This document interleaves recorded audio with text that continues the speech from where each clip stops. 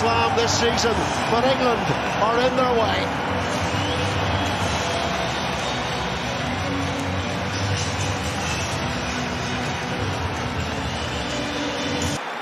changes to the England team. George Martin comes into the second row, and that means that Ollie Chessum moves back one row and plays at number six. Jamie George continues as the skipper. In the backs, Emmanuel Feyi-Waboso makes his first start, and Alex Mitchell is back at scrum half after a knee injury. George Ford keeps out the fit again Marcus Smith. George Furbank retains the fullback shirt. Well, stability and consistency are the watchwords in this Ireland selection. It's the same pack as the one that started against Wales last time out. Dan Sheehan and Tadhg Beirne both scored tries in Dublin. And Peter O'Mahony is the captain of Ireland. In the back, Hugo Keenan returns at fullback after injury. Then it's same again. The temptation to bring back fit again. Garry Ringrose resisted James Lowe's all-round stats for this Six Nations. Amazing. And the replacements on the benches, Danny Kerr will win that 100th cap should he come on. Finlay Bealham and Iain Henderson missed out for Ireland against Wales. 6-2 split for Ireland.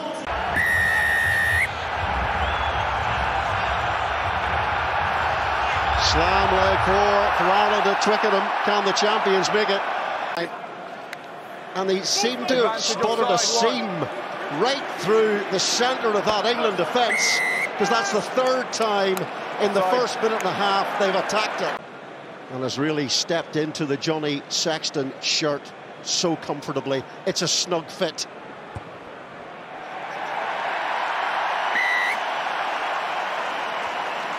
And have won the last four against England, including a Rugby World Cup warm-up game, scoring 32 points twice and 29 points twice. Three of those four Ireland wins coming in Dublin.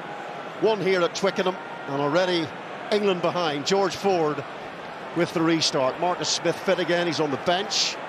Here is Bundee Aki, player of the match against the Welsh. 16 carries, had a try chalked off. Tadhg Beirne, excellent Six Nations for him, two so far in all facets of forward play. James Lowe, they will always use that left boot of his. He's over 1,200 kicking metres so far. And away goes George Furbank, very much a running fullback. And that is a thundering tackle coming in there on Tommy Freeman. But England still have it through George Ford. Looking to explore that blind side. There is Lawrence. Ollie Lawrence produces the form. He's been showing a bath, and that was honey rugby in that wide channel from England. All the way, Furbank. He's picked to do this, running back, and what a this hit. Well, it's the carry, really. Nash feels that all over his body. Then it's just a numbers game. Four to two, four to three. Just go through the hands, do everything you've done in the training paddock since you were four years of age, Ollie Lawrence. You were just on the end of a very good move, crystal clear, it wasn't so much in uh, in Murrayfield after those first 10 minutes, but that is an amazing start, like I said. Hill thresher of a tackle. Here's Doris. And of so many options at first receiver of Ollie, Ollie Lawrence. Well, it looked like he came in from the side there. So Jack Crowley, who actually wore Johnny Sexton's jersey when he played against Australia. Sexton injured very late on, no time to change the shirt, so for Alex Mitchell. Good defence by Ireland. Joe McCarthy with the tackle. Ireland resetting fast as they have to do. Here's Ollie Lawrence. Puts it into the space. Furbank on the chase. Here is another try for Ollie Lawrence. Knock on. Nika, can we slow down? I need to just check thing. Yeah, right. Ben, we are on the knock on here. Just he's got his hands on it. Yeah, yeah, yeah. Hands yeah. on it. It's gone. Then it's gone forward. So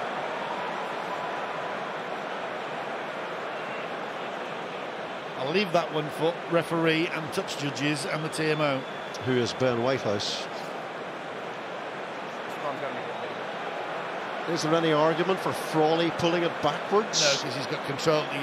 Frawley had the one hand on it, then Furbank had two hands on it, and then it's gone forward from two hands. So There's got to be no try. We've got Mind you, I've seen him back. not given, I've seen him We- we- given. No, no, no. Hang on. We, we it's to stand down.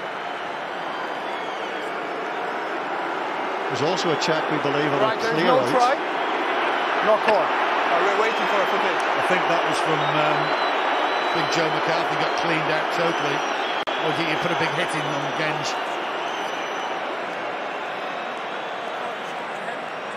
Yeah, we took time. Just like these things to be sped up a little bit. Just, Right. just you're losing all the momentum out of this game. George Ford, Freeman Coming to now, Chessum. Good line, aggressive line. Ireland over the ball for the turnover. And it's the inimitable shape. Tackle. He could play in the back row, he could play wherever. Such a strong forward. A strong back. Could be a strong forward. No. Oh, Yes. yes, he did not strike. Well, clearly, he didn't strike that one. It's been so accurate in this championship, as is Ronan Kelleher, who's on the bench. Peter Mo. O'Mahony, relatively quiet first half for Like him, the the Ireland captain. He normally loves playing against England, doesn't he, and saying a few now. words. But yes, he has been quiet, and that's credit to England's back row, I think. Use it. He likes a bit of nurdle, does Peter O'Mahony. Jamison gives him power. And it's brilliantly taken in the air by Hugo Keenan. Ireland so delighted to see him restored. Here's Caelan Doris. There's space now outside for Ireland. Here is Henshaw. Frawley for James Lowe.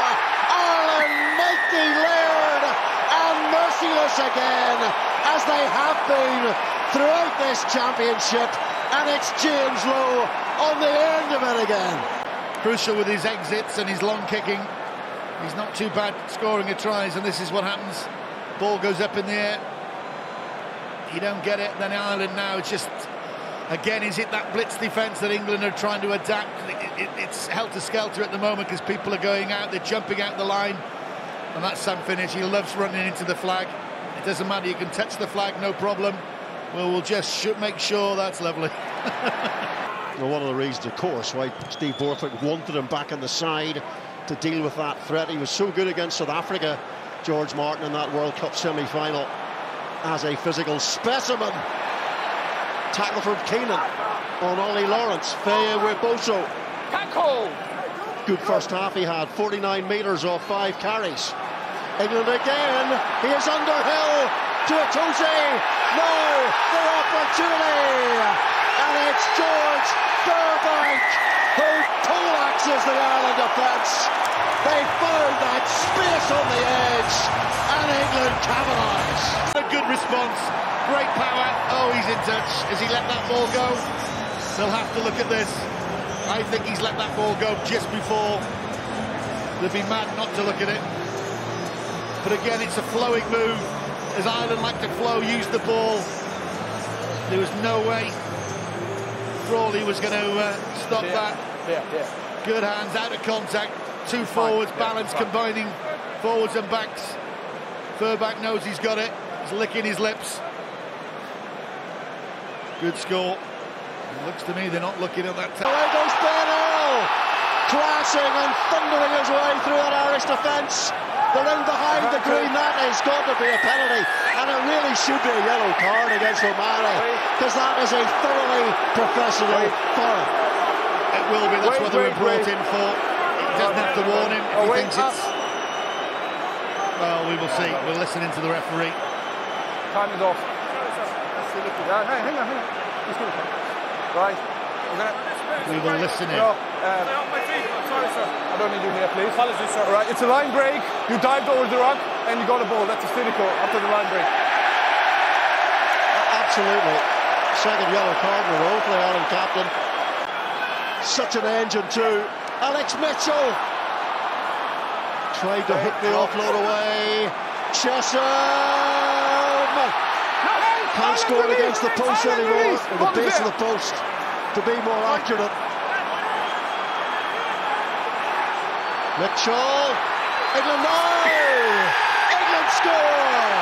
And it's Ben who bundles over the line.